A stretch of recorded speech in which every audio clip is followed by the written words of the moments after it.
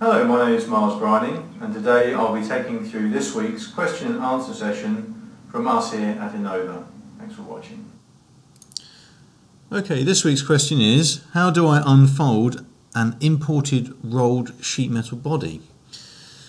Okay, that's fair enough. So what I'm going to do is just flip into SolidWorks and I'm going to go ahead and then open a Parasolid file.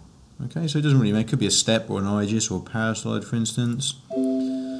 Now, whenever you import any of these file types, it's always worth running import diagnostics on just to make sure that all the faces are correct. You remember that different CAD packages use different mathematical engines and you want to make sure that when it's imported everything is where it should be. So if I go yes, there's no faulty faces or edges, that's fine, so I can go OK.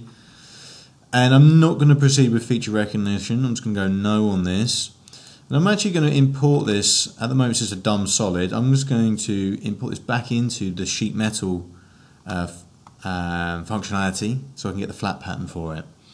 So if I was to turn on the sheet metal tab, again remember there's lots of different tabs you can use in here. On the sheet metal tab there's something called insert bends and this is really useful when you are importing things like this. So if I just go insert bends, again I can set the, uh, the bend radius in here if I need to change it. I'm going to select a fixed face, so this means when it flattens, this face will not move. It will be other faces that are all folded down. Um, and I'm just going to go OK.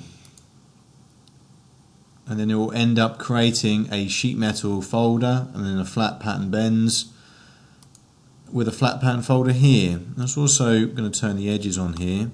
So there it is. If I go to the flat pattern folder, expand it, and then unsuppress the flat pattern, you see then I have a flat pan available for me to um, then get developed. So there we are.